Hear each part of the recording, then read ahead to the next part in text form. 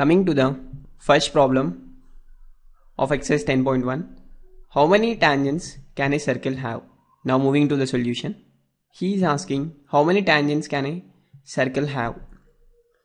Initially, before going to that, let us know the definitions of what is a tangent. A tangent is a line segment that passes through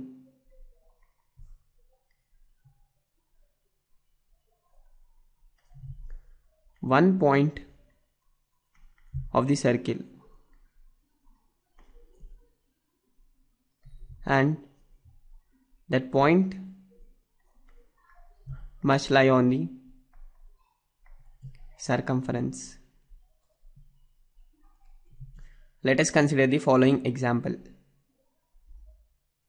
If we consider the following example, here let us consider a circle with center O and here we have a line passing through one point of the circle therefore it is called as tangent line. Therefore as there are number of points that lie on the circumference of the circle we can say every line or the line segment passing through that points individually is a tangent of the circle. Therefore we can say the number of tangents to any circle are infinite. As there exists infinite number of points on the circumference of the circle. Moving on to the second question. Fill in the blanks. In that four bits are given. First bit a tangent to a circle intersects it in dash points. Now moving to the solution for the first bit. We know that from the definition of the tangent that tangent is a line segment or line that intersects circle in single point. And that point must lie on the circumference of the circle therefore answer for the first bit will be one point. Moving on to second question. The line intersecting a circle in two points is called a secant. From the definition of the secant it is clear that the line intersects circle in two points then it is called secant. Let us represent in the diagrammatic form. Now moving on to third bit. A circle can have parallel tangents at most. The answer is 2 because if we consider a circle with the radius r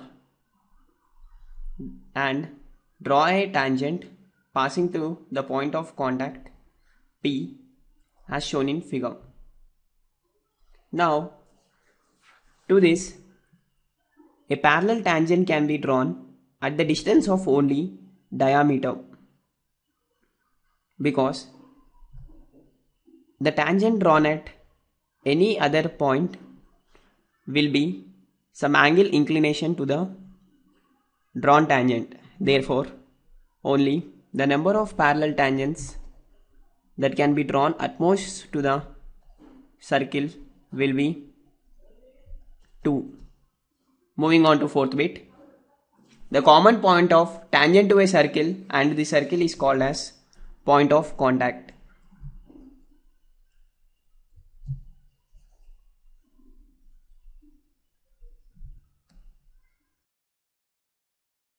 Moving on to third question.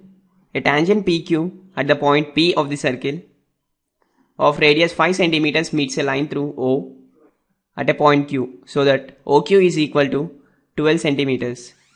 Length PQ is. Now moving on to solution. He has given the tangent PQ which is in contact with the circle at the point P and he says the center of circle is O and here the radius of the circle is given as 5 centimeters and OQ distance let us assume point Q somewhere on the tangent. He has given that OQ is equal to 12 centimeters.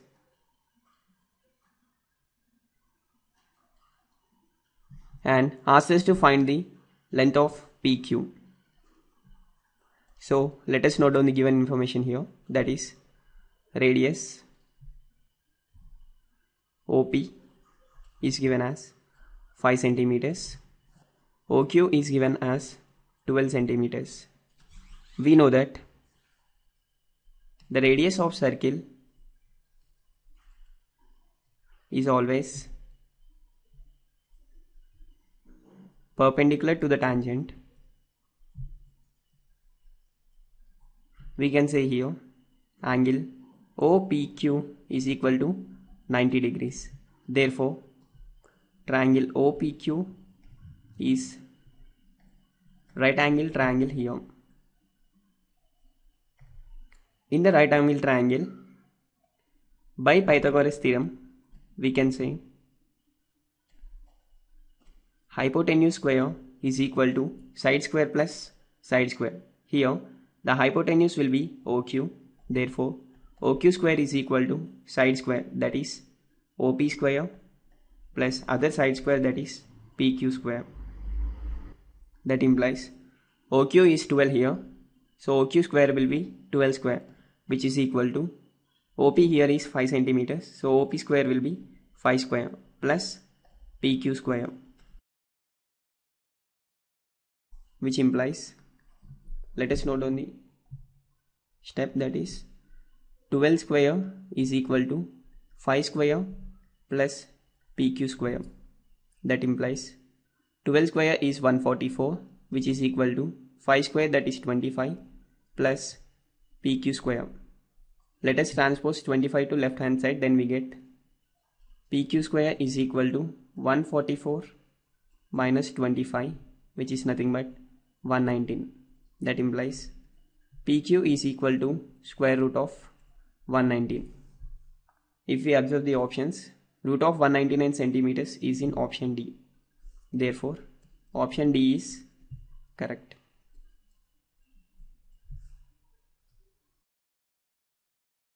Moving on to the fourth question.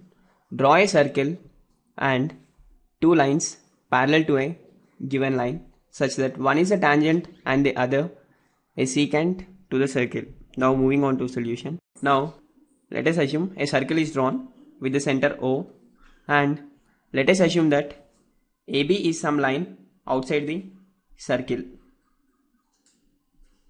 Now, in order to draw a tangent, let us assume a point P on the circle. Then, let us draw a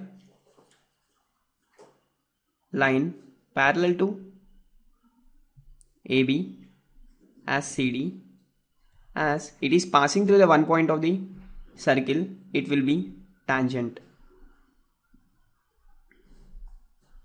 Now, let us assume other two points on the circle E and F such that let us join E and F so that it is perpendicular to CD and as the line EF is passing through two points of the circle it is known as secant of the circle